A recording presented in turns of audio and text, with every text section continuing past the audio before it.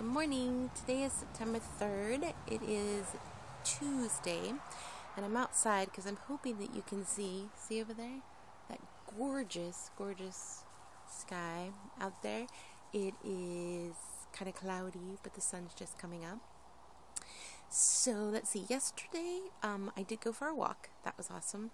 And sorry if my hair is kind of messy. I haven't showered today. It's my morning face. And um, it was an interesting day. In the morning, I had a tomato, onion, cucumber, lettuce sandwich, very delicious. And then for lunch, I wanted to make hummus, but I wanted to try something different. And there was pineapple left over from the lunch I made for my friend. So I thought, why don't I try sweet hummus? So I put garbanzo beans, pineapple, and then a bunch of seasonings and some water. It was pretty good.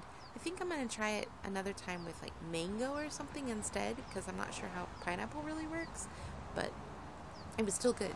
And then I used um, carrots and chips to dip into the hummus. And I even had a half of a fake bacon called stripple, um, just because it was left over from the sandwich I made for my friend. And then um, for snack, I had a handful of dark chocolate chips.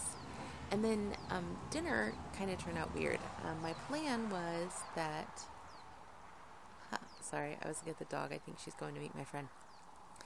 Plan was that I was going to eat zucchini, like sauteed zucchini and onions and squash. But as I was sitting there and I hadn't eaten dinner yet, um, I look over and my friend is sitting there and she she eats her meals alone because we eat two different meals. And by the time I cook her meal, she's finished eating it by the time I cook mine. So I gave up trying to eat meals with her. Um, so I feel bad because she always eats her meals alone and she's bored out of her mind here. And I try to, you know, get her to do things, but she never wants to do anything.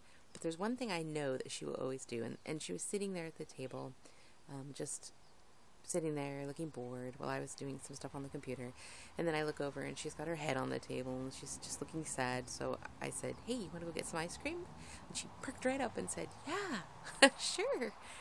So we went and got some ice cream at like the old thrifty. I think it's Rite Aid now, and they have that yummy ice cream, and I didn't want her to eat alone. So I had a scoop of ice cream, and I know it's not good for me, and it tasted really good. But truly, I really did do it just because I didn't want her to have to eat alone. So I had one scoop of chocolate malted crunch for dinner. So, say lovey. It's not going to kill me. so that's all I have to say. I'm going to go do my chores because we got to get going to get to Bible study. See you guys tomorrow. Bye.